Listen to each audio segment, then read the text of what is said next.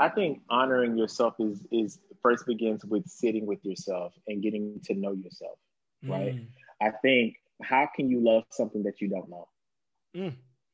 Oof. How can you love something that you don't know? Oof. And you know, so it's like it's about honoring yourself is about spending time with yourself. That's why I said this, you know, this season that we've been in has been, even though it's been uh, crazy on one aspect, it's also been a beautiful thing because I think people are discovering who they are and who they are not. Hey. And so, yes. and so, like, I definitely think the, the space of sitting with yourself, understanding and knowing who you are, and learning to love that person, embracing all of who you are, and now and looking at yourself from a lens of curiosity, not a, a, lens of shame. You know, and I think that's important too. Say that um, again. Pervis, you know, dropping look, the gem. Say it again. You have to look at yourself from a space of curiosity, not a space of shame. Mm. Yes. And, you know what I mean? Because it's yes. about asking yourself, like, you know, do I like the color red, or what do I like? Who who am I? Why am I? You know, why do you know why do I like? So, for instance, for me, like, I love watching SpongeBob why do I like watching SpongeBob? But not asking, not asking from a place of shame or judgment, but just yeah. out of curiosity.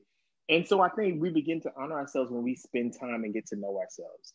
And once you understand and you get to know yourself and you understand that that's who you who you are and that's all you got is you. Yeah. You start to have an appreciation for it. And then you start to say, you know what?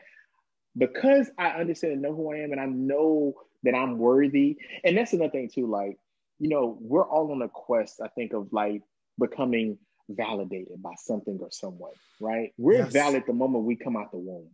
And I think mm. that's that's that's the beginning of self-love is when you know that you were valid coming out the womb.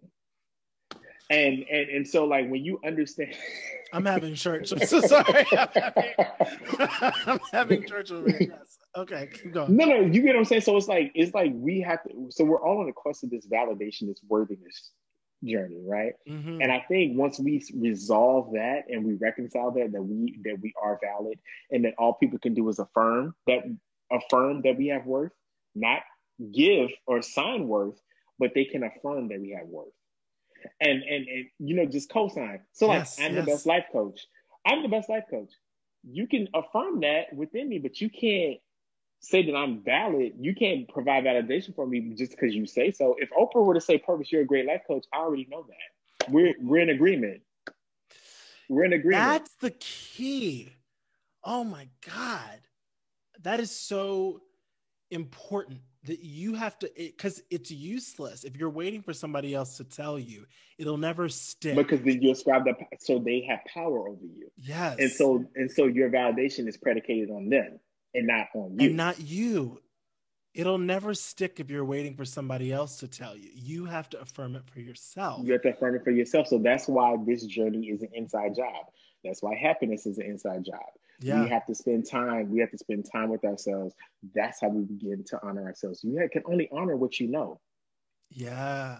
The one thing about life that's beautiful is not sometimes it's not either or. It can be both and. Mm. And and so while you may hold a space for that real reality that you are conflicted within your blackness and but also there's a space that you can hold for beauty right and mm. honor which one that shows up at, at any given time um, i always say this to my clients you know life happens to us but life also happens from us and so i think it's about you understanding that you also are, are co-creator in the mm. life that you mm. want to have and so um, when you understand that, you can focus on like, yes, we are being marginalized as people. Yes, you know, it's it's injustice. Yes, we there are disparities in us being black people. But guess what? There's also beauty.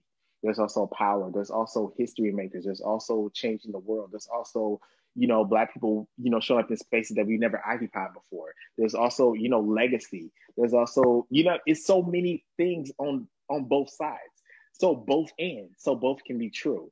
Yeah. and so my thing would say like you know honor this when it shows up but also honor this. Yeah so i'm not taking that away. I'm not taking that away and i'm not minimizing it but i'm also in i'm infusing and injecting something else that's also true. Yeah. And so when so learn to honor this as well. And i think once you learn to honor both and you don't feel victimized and you feel victorious, mm. then you start to look at this thing a little bit different. You look at the the marginalization, the disparities, you look at it a little bit differently because you're you're empowered because you also know that life is happening from you. And so that's a beautiful thing to know that something can come from you, that there's power, there's virtue coming from you.